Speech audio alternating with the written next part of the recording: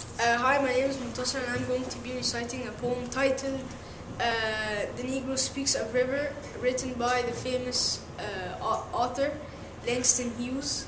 The poem was written in 1920 and it's about the slavery.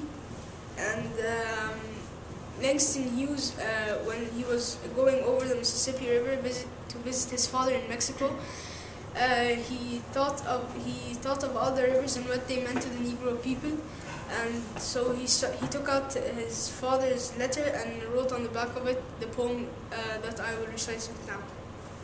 I've known rivers, ancient as the world and older than the flow of human blood in human veins. My soul has grown deep like the rivers. I bathed in the Euphrates when dawns were young. I built my hut near the Congo and it lulled me to sleep. I looked upon the Nile and raised the pyramids above it. I heard the singing of Mississippi when Abe Lincoln went down to New Orleans, and I've seen its muddy bosom tol- t- turn all golden in the sunset.